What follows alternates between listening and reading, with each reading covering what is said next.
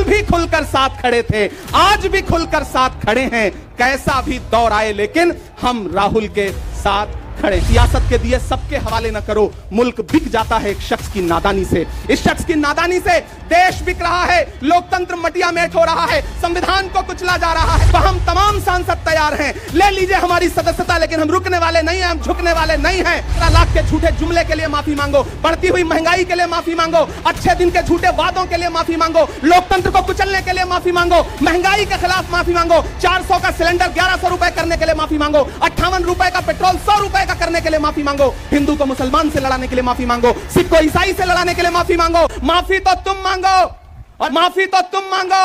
जब अंधेरों की कोख से निकलने वाले ये सोचते थे कि कोई जुगनू बचा नहीं है, ये जुल्म है कि जुल्म को कहता हूँ, साफ़ जुल्म। क्या जुल्म कर रहा हूँ, मुझे मार दीजिए।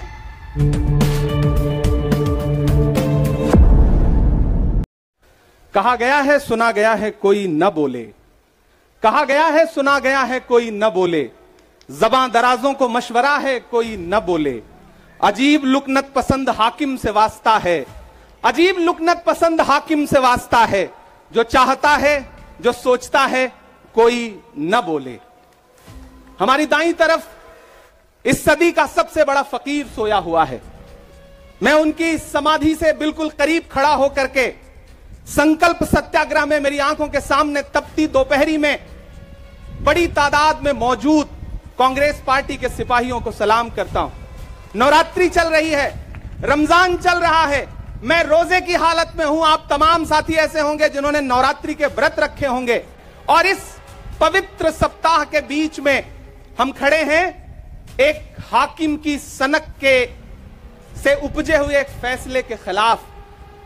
दोस्तों, भारत के लोकतंत्र के लिए एक मुश्किल लम्हा है ये। याद करिए जब हाकिम की सनक की वजह से आप लाइनों में लग करके अपने पैसे बदलवाने के लिए बैंकों के साथियों से विनती कर रहे थे, चरौरी मिन्नत कर रहे थे, तब सबसे बड़ी आवाज़ बन के कौन बोल रहा था? राहुल गांधी। नतीजा क्या निकला? उनकी एसपीजी सुरक्षा वापस ले ली गई। याद करिए, जब गब्बर सिंह टैक्स लगा करके छोटे व्यापारियों को बर्बाद करने का सपना पाला था, इस सरकार ने तो सबसे मज़बूत आवाज़ बन के कौन बोल रहा था? राहुल गांधी। नतीजा क्या निकला? हज़ारों करोड़ रुपए खर्च करके उनके पीछे ट्रोल आर्मी लगा दी गई। उनकी इमेज खराब करने के लिए जितने तरीके अपना सकती थी, भारतीय जनता पार्टी उसने अपनाया। याद करिए याद करिए कि जब राफेल के मुद्दे पर राफेल में हुई लूट के खिलाफ एक अकेला शख्स पूरे देश में खड़ा होकर के चौकीदार से पूछ रहा था कि आपकी चौकीदारी का सवाल है, बताइए सच्चाई क्या है। तब उनके पीछे पचपन घंटे उन्हें ईडी के ऑफ़िस में बिठा करके पूछताछ की गई। मेरे भाई, उस शख्स ने क्या गुनाह किया? क्या कसूर है उनका? उनका कसूर इतना है कि जब देश में नफरतें सर चढ़ करके बोल रही थी तो उस शख्स ने कहा कि मैं भारत जोड़ने के लिए अपने पैर के छालों की परवाह किए बगैर चार हज़ार किलोमीटर चलूँगा। यह कसूर है राहुल गांधी का। यह कसूर है राहुल गांधी का कि वह एक शहीद पिता के बेटे हैं। यह कसूर है उनका। यह कसूर है उनका कि उनकी दादी ने इस देश की मिट्टी के लिए अपने खून का एक एक कतरा कुर्बान कर दिया। यह कसूर है उनका। आज भारतीय जनता पार्टी के लोग हाउस में खड़े होकर के सदन शुरू होते ही एक मिनट भी सदन नहीं शुरू हुआ रहता था। और खड़े होकर के राहुल गांधी माफ़ी मांगो के नारे शुरू कर देते थे। किस बात की माफ़ी? क्योंकि वो भारत जोड़ रहे हैं। वो लोकतंत्र को बचाने की बात कर रहे हैं। अरे भाजपाइयों, माफ़ी तो आपको मांगनी चाहिए। पंद्रह लाख के झूठे जुमले के लिए माफ़ी मांगो। बढ़ती हुई महँगाई के लिए माफ़ी मांगो। अच्छे दिन के झूठे वादों के लिए माफ़ी मांगो। लोकतंत्र को कुचलने के लिए माफ़ी मांगो। महँगाई के खिलाफ माफ़ी मांगो। 400 का सिलेंडर ग्यारह सौ रुपए करने के लिए माफ़ी मांगो। अट्ठावन रुपए का पेट्रोल सौ रुपए का करने के लिए माफ़ी मांगो। हिंदू को मुसलमान से लड़ाने के लिए माफ़ी मांगो। सिख को ईसाई से लड़ाने के लिए माफ़ी मांगो। माफ़ी तो तुम मांगो। और अगर तुम ये कहते हो कि राहुल गांधी ने विदेश में जाकर के भारत का अपमान किया तो प्रधानमंत्री जी, मैं आपसे पूछना चाहता हूँ कि जब दोहा में, शंघाई में, कैलिफ़ोर्निया में, अमेरिका में खड़े होकर के आप कह रहे थे कि भारत तो सपेरों का देश है, भारत में पैदा होना तो पाप है, प्रधानमंत्री जी, माफ़ी तो आपको मांगनी चाहिए। मैं आज प्रियंका दीदी को सुन रहा था, मेरी आँखों में आँसू थे उनका भाषण सुन करके पिछले कुछ हफ्तों में दो बार मेरी पलकें नम हुई, पहली बार तब हुई जब हम संसद भवन से तमाम सांसद निकल रहे थे और एकाएक हमने सीपीपी ऑफ़िस में देखा कि राहुल गांधी जी को दो साल की सजा दे दी गई। उन लम्हों में मेरी आँख में आँसू थे, मैं शायर हूँ तो मैं भावुक हूँ। शायद इसलिए मेरी आँखें नम हो जाती हैं ऐसे लम्हों में। आज जब प्रियंका जी बोल रही थी तो मैं उन्हें सुनकर के भी मैं नम हो गया। ये जुल्म है कि जुल्म को कहता हूँ साफ़ जुल्म। ये जुल्म है कि जुल्म को कहता हूँ साफ़ जुल्म। क्या जुल्म कर रहा हूँ मुझे मार दीजिए। जो जख्म बांटते हैं, उन्हें जीस्त पे है हक। मैं फूल बांटता हूँ, मुझे मार दीजिए। फिर उसके बाद हिंदुस्तान वालों, फिर उसके बाद शहर में नाचेगा हु का शोर। फिर उसके बाद शहर में नाचेगा हु का शोर। मैं आखिरी सदा हूँ, मुझे मार दीजिए। मेरे भाई, इस देश के लोकतंत्र को बचाने के लिए जो सबसे बड़ी आवाज़ है इस देश के उसको मारने की, उसको कुचलने की जो कोशिश है, उसके खिलाफ आपको खड़ा तो होना पड़ेगा। आपको बोलना तो पड़ेगा। मैं कभी कभी सोचता हूँ कि जब मैं कभी समाधि पर जाऊँ तो क्या मुँह दिखाऊँगा महात्मा गांधी को? मैं क्या मुँह दिखाऊँगा? राजीव जी को हम क्या मुँह दिखाएँगे? इंदिरा जी को कि उनके वारिस के साथ, उनके घर के चश्मो चराग के साथ इस तरह की अपमानजनक बातें की जा रही हैं और देश खामोश बैठा है। मोहब्बत है पार्टी से, लेकिन नया पाने की चाहत में पुराना छूट जाता है। तुझे अपनाऊं तो मुझसे जमाना रूठ जाता है। मोहब्बत पढ़ने लिखने में बहुत आसान है, लेकिन मोहब्बत को निभाने में पसीना छूट जाता है। मैं जानता हूँ कि आप पसीने के बीच भी, आप तपती दोपहरी के बीच भी यहाँ बैठे हैं। क्यों? क्योंकि आपके मन में पीड़ा है। आप देख रहे हैं कि लोकतंत्र को किस तरह से कुचला जा रहा है।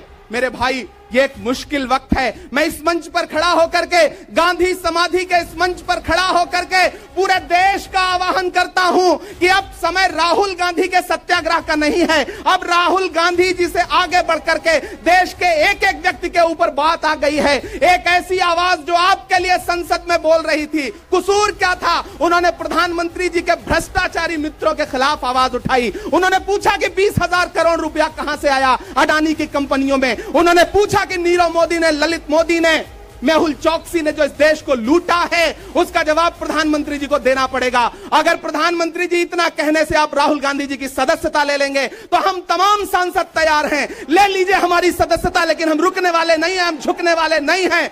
हम मुसलसल बोलते रहेंगे। मैं हिंदुस्तान के लोगों से कहना चाहता हूँ कि हमने सहराओं में हासिल किया आसानी से। तुम समंदर में भी रहकर न मिले पानी से। यह सियासत के दिए सबके हवाले न करो। मुल्क बिक जाता है एक शख्स की नादानी से। इस शख्स की नादानी से देश बिक रहा है। लोकतंत्र मटिया मेट हो रहा है। संविधान को कुचला जा रहा है। और वो आखिरी सदा जो सात फरवरी को गूंजी थी पार्लियामेंट में, उसको भी खामोश करने के लिए उसे संसद से निकाल दिया गया है।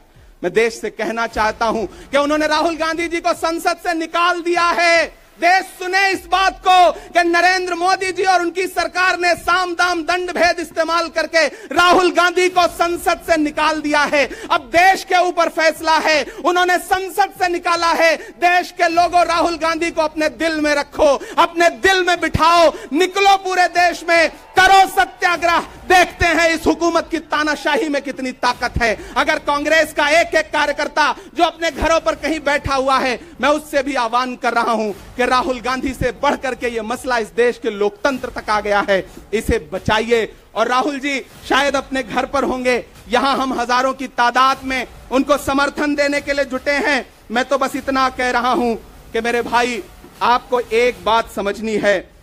और वो ये है कि इस मुश्किल वक्त में हमें राहुल जी से यह कहना है कि लहू में भीगे तमाम मौसम गवाही देंगे कि तुम खड़े थे।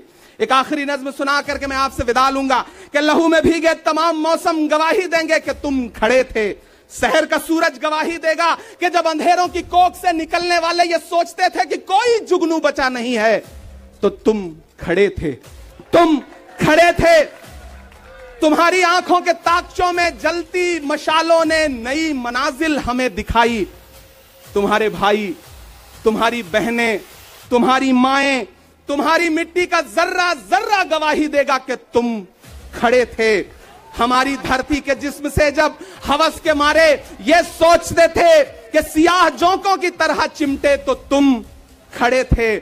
तुम्हारी हिम्मत, तुम्हारी अजमत और इस तकामत तो वो हिमालय है कि जिसकी चोटी तलक पहुँचना न पहले बस में रहा किसी के, न आने वाले दिनों में होगा।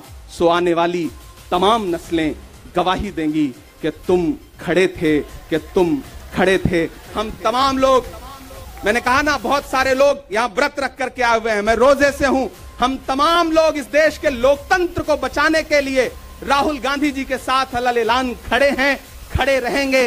और एक एक सांस तक उनके साथ खड़े रहेंगे। ये हमारा राहुल गांधी जी से वादा है, जिसे खौफ नहीं है मुरझाने का। हम उस गुल के साथ खड़े हैं। कैसा भी दौर आए, लेकिन हम राहुल के साथ खड़े हैं। कल भी खुलकर साथ खड़े थे, आज भी खुलकर साथ खड़े हैं। कैसा भी दौर आए, लेकिन हम राहुल के साथ खड़े हैं। शुक्रिया।